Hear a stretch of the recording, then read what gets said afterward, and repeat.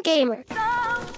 I am so excited to announce my brand new Zone Wars map titled Stairway to Hell. This map is equipped with forced respawns to cut down on bugs, random weapons and utility spawns at start, health and material siphon per kill, a 3 layer moving storm where the first blue layer is a warning, the second red layer is 20 damage, and the third and final layer will kill you. This storm pushes all players to the top of the hill where you are forced into a ticking damage storm to either end in a heal off or fight till the death. This map is packed with a bunch of cool features.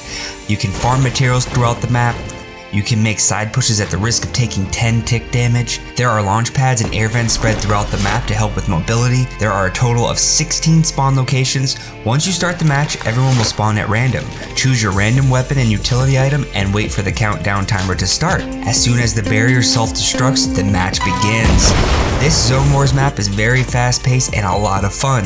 The whole idea behind this map was to simulate endgame, work on turtling, building while under fire, and getting comfortable moving without taking storm damage. The map code will be in the description and pinned comment section. Make sure you are using the newest map version as I will be updating it as necessary.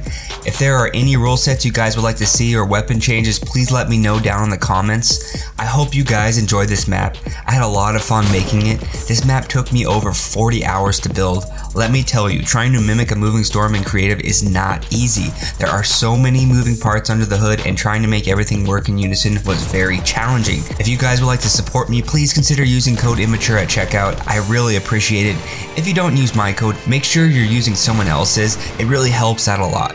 This video's skin giveaway winner is SamGD500. Thank you so much for using my creator code. If you would like a chance at winning some free skins, all you have to do is use code immature in the item shop, take a screenshot or a picture with your phone, and tweet me proof at immaturegamerx. That is it. I want to give some shoutouts to some very talented YouTubers where I got ideas and inspiration from. First up is Enigma. This dude is very talented. He makes some really cool Zone Wars maps and warm-up courses. I got the forced respawn idea from him.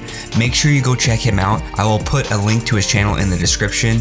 And next up is ZeroYaHero and Vorie. These guys are super, super talented. Some of their ideas are next level. They made a Zone Wars map with actual ticking storm damage. It's pretty cool. You guys should go check them out as well. Links to their channel will be in the description. That is gonna do it for today's video. I wanna thank all my subscribers that helped me beta test this map. I really appreciate it. I got a lot of great feedback and just thank everyone for all the love and support you've been given.